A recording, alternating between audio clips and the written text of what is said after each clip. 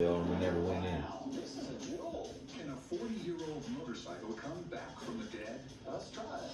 A father has a special plan for a vintage Schwinn. I really want it restored to my son. He'll keep it forever. And it was a really bad Deal. machine serves a new What do you. Okay, I got some. tea.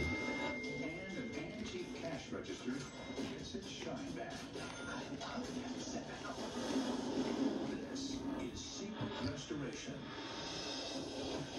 Uh, they, they gave this Schwinn bike. It was supposed to be for his son. As a new He received it. shop, I can't wait to see Well, I'll. I'll tell you I'm commercial. There's my old van. Motor vehicle expert PJ Burchett responds to a call about an 80s dual sport Honda motorcycle needing a resurrection. I remember my dad got me a Honda three wheeler, and I had to fix it because I kept on wrecking it all the time. From Knoxville, Tennessee.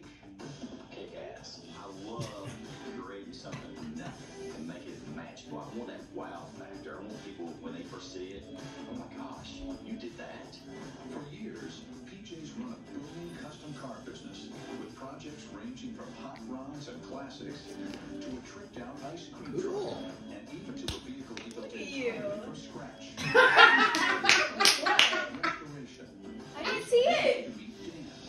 leopard suits with the red car.